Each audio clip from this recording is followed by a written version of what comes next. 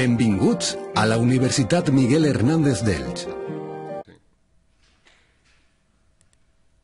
Hoy vamos a trabajar el tema de funciones y, bueno, archivos de actividades, el 0601 y el 0611. El 01 juega más a las características globales y el 11 juega más a representar los distintos modelos y reconocerlos. Pues bien, en esta actividad 5 se nos pide que a partir de la función representada estimemos las preguntas que se nos hacen. Vale, pues a partir de esa gráfica, ¿cuánto creemos que vale la imagen del 1?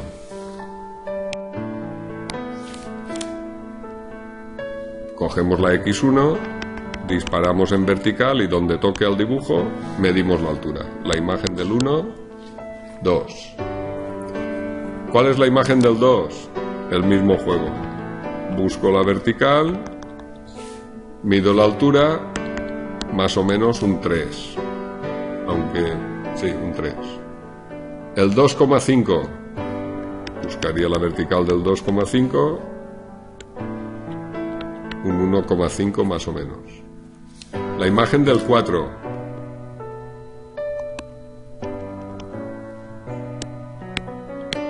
Un menos 1.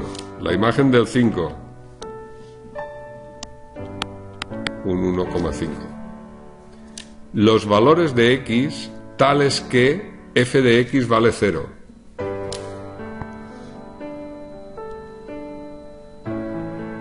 S y S. Los puntos donde f de x vale 0, el punto donde tocamos. Por tanto, pronosticaríamos la x igual a 3 y la x igual a 4,7, 4,5, por ahí. No está preguntado y lo añado yo. Dominio de la función. Y esa función es solo ese tramo. Porque la estrategia es, si a mí me pintan unos ejes coordenados y el dibujo hace esto, yo he de suponer que mi zona de visualización era esta. Esta era mi ventana, que me la marcan los ejes. Si el objeto se escapa de la ventana, estoy obligado a suponer que esto continúa indefinidamente. ¿Cuándo supongo yo que algo tiene principio y fin? Cuando a través de mi ventana yo veo su principio y su fin. Entonces los ejes los haces tan grandes como quieras, pero que quede claro que esto sigue o no sigue. Dominio de la primera función. ¿Sobre qué valor x empieza a haber dibujo? Sobre el 1. ¿Hasta qué valor de x hay dibujo? Hasta el 5. ¿El 5 tiene imagen? Sí, cerrado. ¿Cómo se suele hacer un gráfico en el que el 5 no juegue? Cosas como esta.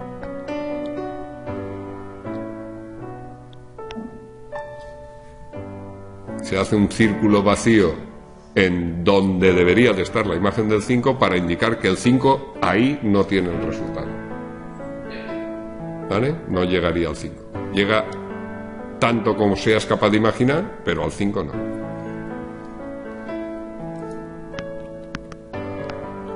Imagen de la función. Ahora miramos en horizontal.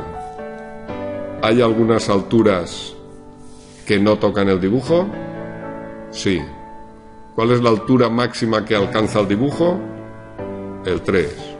¿Hay una altura mínima que alcance el dibujo? El menos 1. La imagen, por tanto, es desde menos 1 cerrado porque es alcanzado hasta el 3 cerrado porque es alcanzado.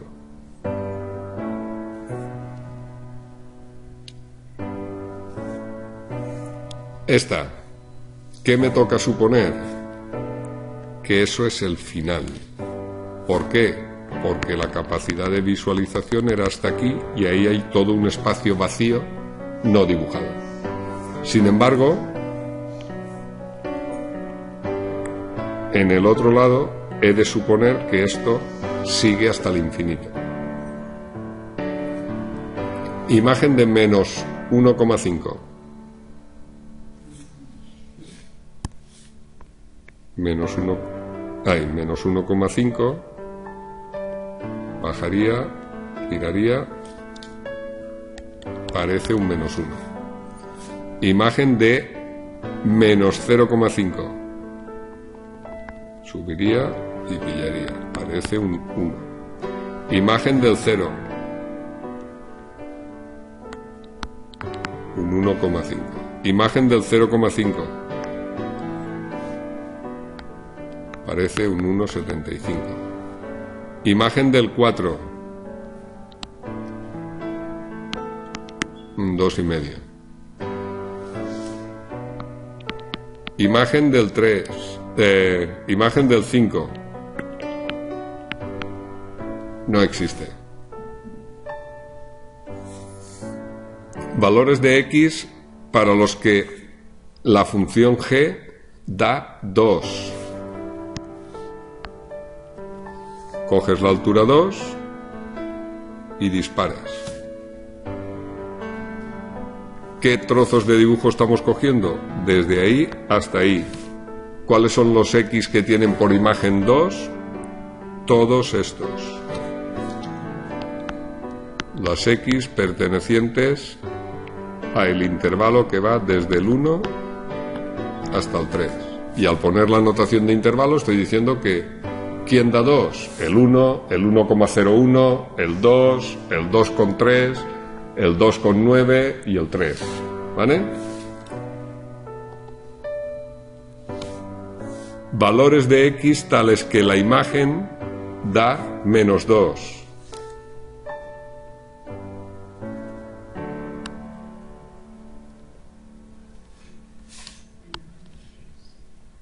los x que pertenecen al intervalo que viene desde menos infinito, el infinito siempre se pone abierto, hasta el menos 2. Cerrado porque la imagen del menos 2 es menos 2.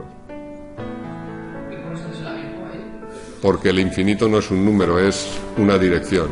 Y lo que sí que podéis encontrar en muchos sitios es que la gente utiliza bien esto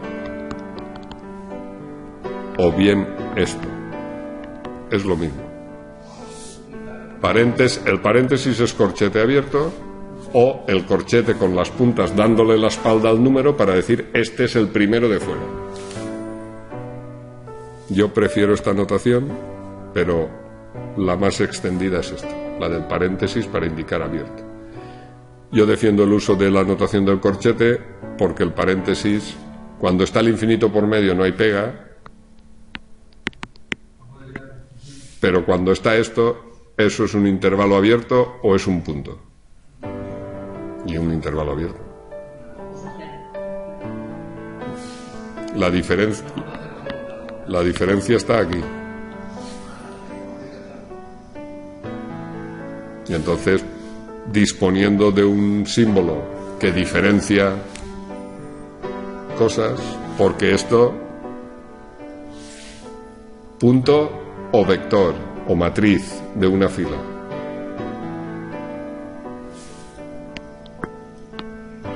Sin el punto y coma es una matriz. Con el punto y coma es un punto o un intervalo. Hay ambigüedad en la presentación.